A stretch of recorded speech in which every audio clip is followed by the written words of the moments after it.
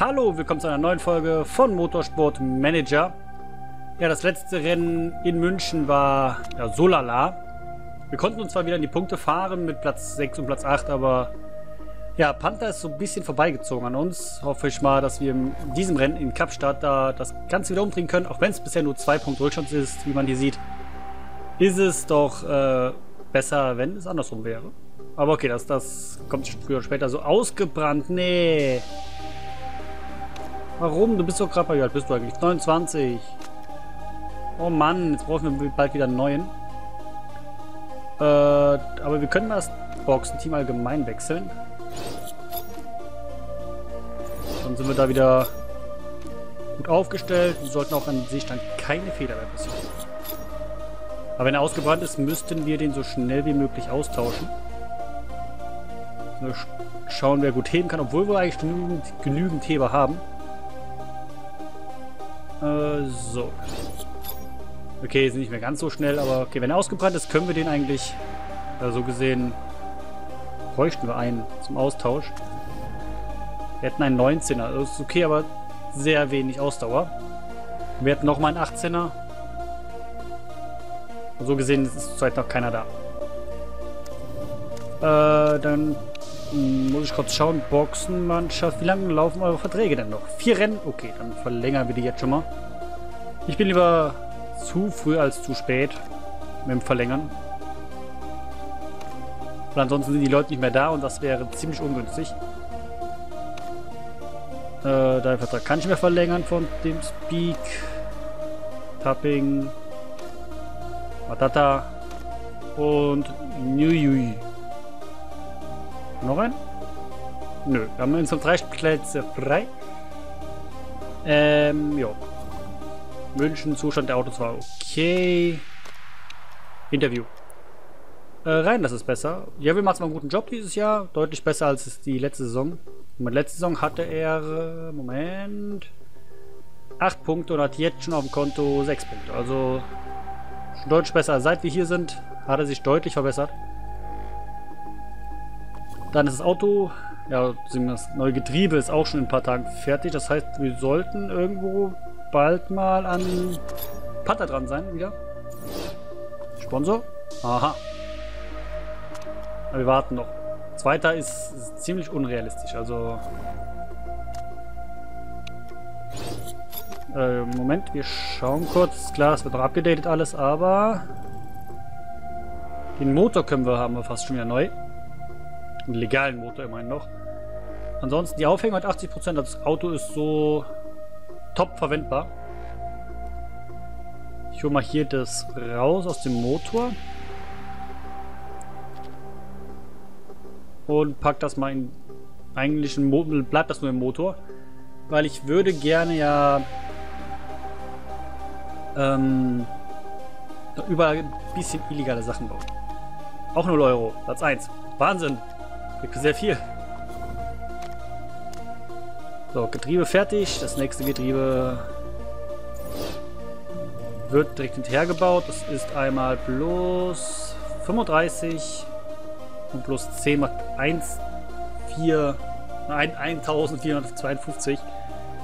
Ähm, macht immer etwas.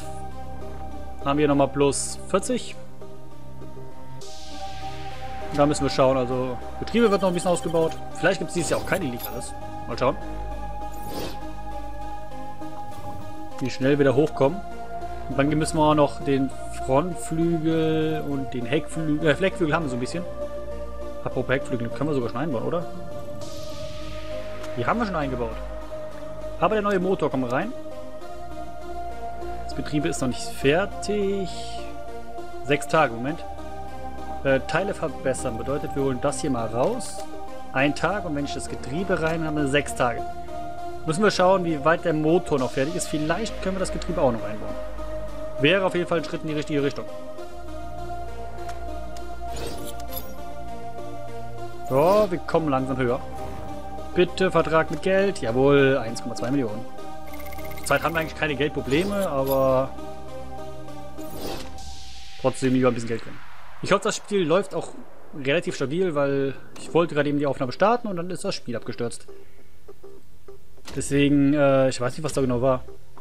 Irgendwie stand auf einmal Spiel abgestürzt. Aber bisher läuft es ziemlich flüssig wieder. Gefällt mir zumindest wieder. So, Reise nach Kapstadt. Das ist okay. Dann kommt jetzt das Geheimnis um 74%. Wir können keinen... Also wir können es einbauen, ja. Aber wir müssten aufpassen. Wie ist denn die Strecke in Kapstadt? Ähm... Schauen wir mal. Die Beschleunigung ist kritisch. Okay, dann behalten wir das alte, das alte noch und äh, ja, bevor uns am Schluss die, das Getriebe kaputt geht, ist lieber besser, wenn wir es so haben. Danach können wir ja den Motor noch restlich updaten und äh, den Heckflügel noch. Und das war's eigentlich erstmal. Danach kommt das nächste Getriebe und dann geht's auf Leistung. So langsam. Also die neuen Sachen ist klar, die kommen auch noch rein. Regen, Regen. Oh, wir müssen auf jeden Fall mit den Reifen aushalten, mit den Regenreifen eher. Weil Qualifying sowie das Rennen Regen sein sollen. Hoffen wir, dass der Motor jetzt auch den nötigen Schub gibt, der neue. Um vielleicht jetzt wieder noch näher dran zu sein. Ich habe ja jetzt geguckt, sind wir da jetzt auch vor Panther mit dem Motor? Also wir waren hinter denen. Nur Bremsen waren wir, glaube ich. Bremsen und Frontflügel waren wir, glaube ich, hinter denen. Äh, vor denen. Rest waren wir hinter denen noch. Also, das sieht gut aus, zumindest mal, dass wir irgendwas werden. Wir sind jetzt, glaube ich, im sechsten Rennen, das heißt, hier will fahren. Ansonsten, ja, fährt er mal einmal mehr als so eigentlich. Jacke wie Hose, so. Wo ist denn bitte Kapstadt? Danke. Kapstadt hat nur eine Strecke, deswegen ist es relativ immer einfach. Und die Softreifen könnten fast das komplette Rennen halten. Mit dem Softreifen. Weil damit könnten wir uns zumindest mal... Wo es eigentlich scheißegal ist, aber... Eigentlich ist es wirklich scheißegal. Wir könnten auf Ultrasoft testen. Und dann halt fürs Qualifying etwas schneller sein, aber... Wir qualifizieren uns lieber mit den Softreifen. Oder Supersoftreifen. Das wäre vielleicht etwas angenehmer. So, lassen wir sie rausfahren. Renntrim.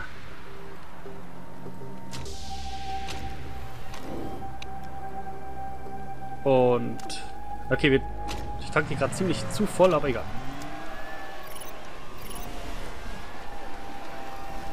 Ich erwarte so Top 10 im Training. Neutral fahren, ist alles in Ordnung. Eigentlich brauche ich ja halt so gesehen gar nicht nie pushen, auch wenn sie ein bisschen schneller fahren, vielleicht ein bisschen mehr Wissen aneignen, aber das ist eigentlich so gesehen die bisschen Zeit, die da rausgefahren wird. Ja, Platz 11 und Platz 18 ist gar nicht so gut, aber okay, das Auto wird ist saumäßig schwer.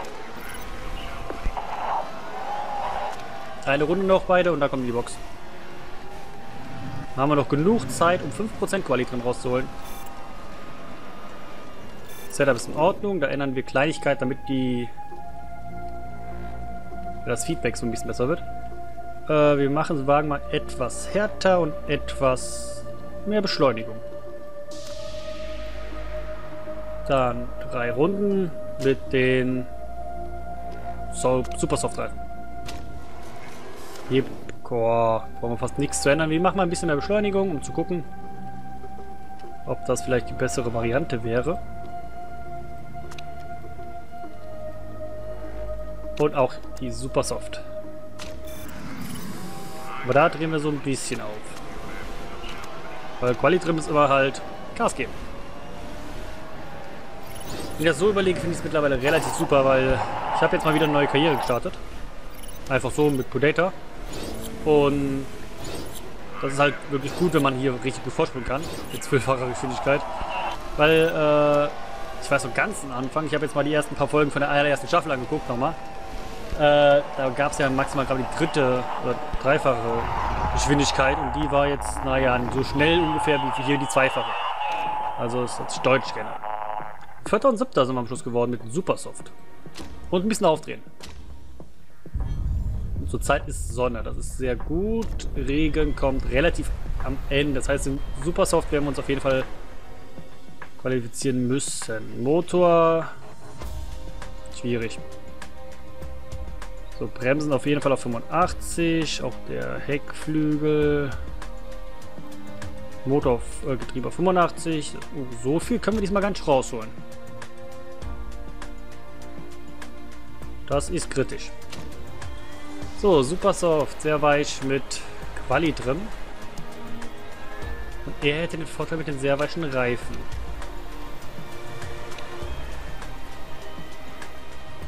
Okay, Setup ist sogar noch besser geworden. Von daher fahren wir raus. Es gibt einen Versuch. Und den werden wir... Ja, wir werden ungefähr in so einer 9. Minute rausfahren. Zwischen 8 und 9. Vielleicht auch erst auf der 8. Minute. Sollte dann in Ordnung sein. Wir haben nicht vergessen, die Reifen zu wechseln. Das können wir aber noch machen, kurz bevor wir rausfahren. Kurzer Mini... Oh, ein richtiger Rausschauer kommt. Uiuiui. So, wir fahren mal so langsam raus mit den Supersoft. Also unser Argen sollte so stark sein, dass wir uns ohne Probleme da qualifizieren können. Nur der eine Versuch muss jetzt auch gelingen. Wenn nicht, dann sind wir draußen. Aber wir haben jetzt ziemlich viele neue Sachen im Auto. Also neuer, bei beiden ist ein neuer Motor drin. Von daher sollte es eigentlich jetzt kein Problem sein. 1,6 Sekunden, das wird doch vielleicht ein bisschen enger als erwartet. Aber 2,4 Sekunden sollten wir eigentlich drin sein. Oh, sie hat richtig erst einen schlechten Sektor hingelegt. Jetzt kommt man. Oh, das könnte eng werden. Und ansonsten ist sie draußen und sie ist draußen, weil er sie rausschiebt. Danach ist. Ah, das wird eng.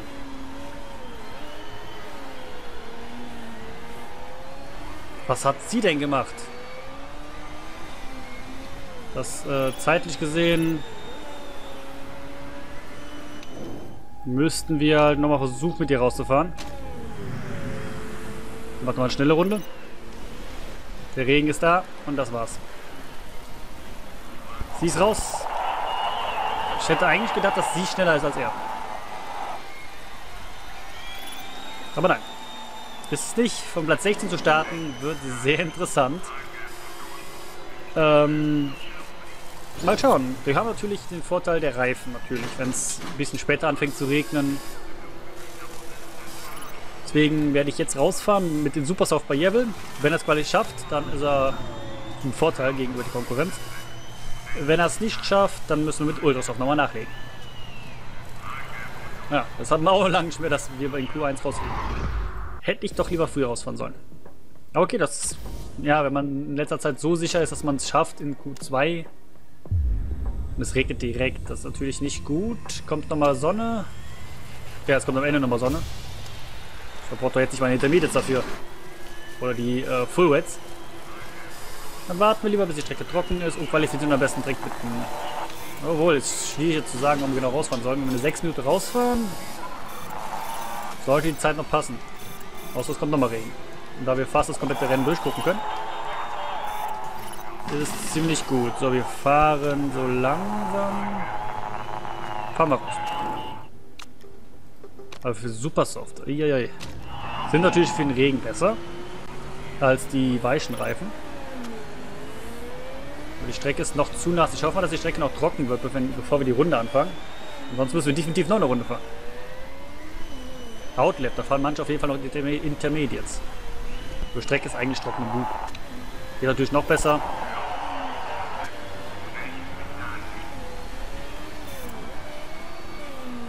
fährst mit Intermedien schneller als wir? Was ist mit dir verkehrt? So. Wollte schon mal denken, ey. Kann nicht sein, dass einer mit Intermedien schneller ist als wir. Gut, da muss er auf jeden Fall aber nachlegen. Also noch ein Reifensatz von den Supersoft.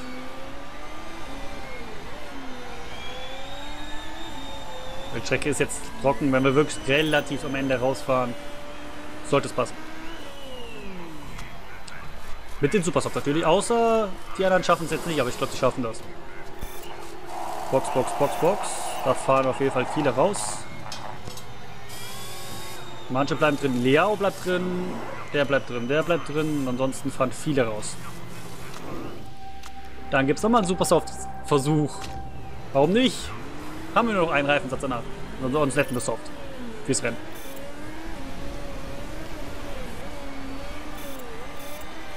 Viel zu früh rausgefahren. Viel zu früh. Wir hätten sogar noch bei 1,30 vielleicht rausgefahren müssen. Das wäre immer noch zu früh gewesen, aber okay. Na, man sieht, da sind manche auf jeden Fall schneller geworden. Toll. Wir hätten nicht rausfahren müssen. Aber mal schauen, wo wir jetzt landen. Ein super erster Sektor von ihm. Mit dem Supersoft landet er auf dem fünften Platz. Zwischen dem Steinmann und dem Panther. Jojoi. Was hatten wir Panther gemacht? Ja, vergeben suchen wir rein das. Leider, leider. Aber ich glaube, sie hätte es mit Ultrasoft auf jeden Fall geschafft. So, konnte schon mal eine halbe Sekunde verbessern und jetzt kommt das erste Mal die Ultrasoft bei uns zum Einsatz. Hoffe ich mal, dass jetzt nicht regnet. Doch, es regnet am Anfang. Das heißt, wir haben zwei Versuche. Wieder mal. Das Wetterzentrum noch nicht fertig bei uns? Das heißt, man kann die komplette Distanz da anschauen. Dann so wieder genauso fahren wie die gerade eben war. Das ist eine gute Zeit. So, jetzt so langsam in Bewegung setzen.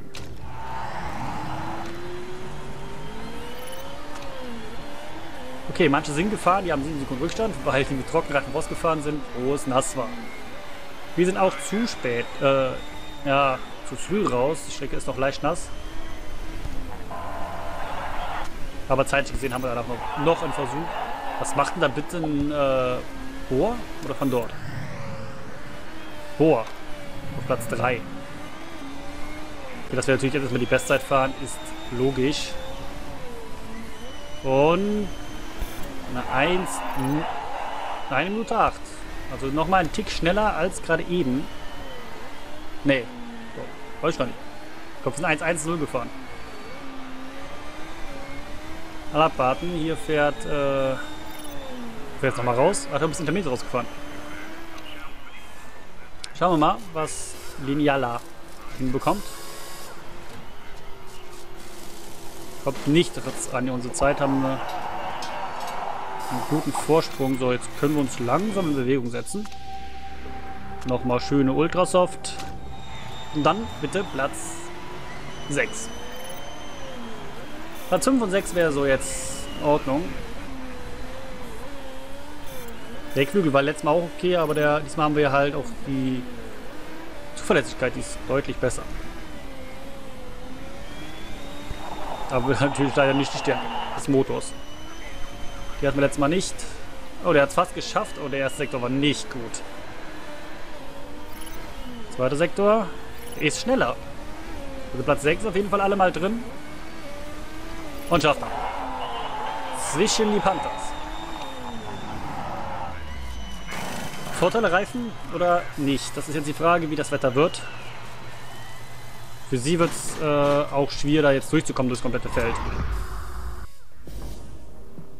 Der war sogar langsamer mit den Ultrasoft. Das sieht man auch nicht alle Tage. Hätte ich jetzt wirklich so nicht erwartet. Es regnet schon. Das ist natürlich jetzt schlecht. Kleiner Minischauer.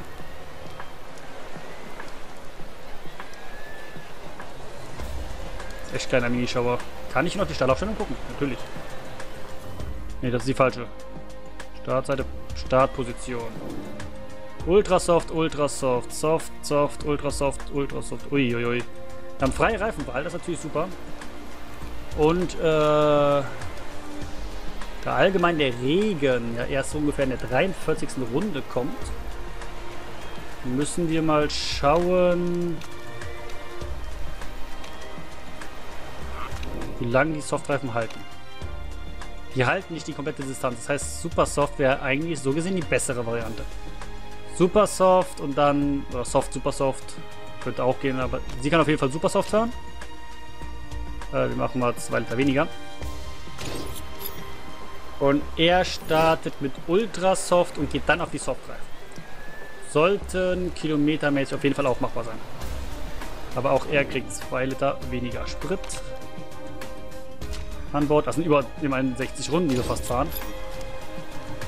Ist schon eine ganze Menge und die Reifen werden am Anfang so ungefähr eine Runde lang kurz mal auf Reparatur gebracht. Dann machen wir bei ihr noch eine kleine Änderung auf die sehr weichen Reifen. Und dann geht's los. Hoffen wir, dass sie nach vorne kommt.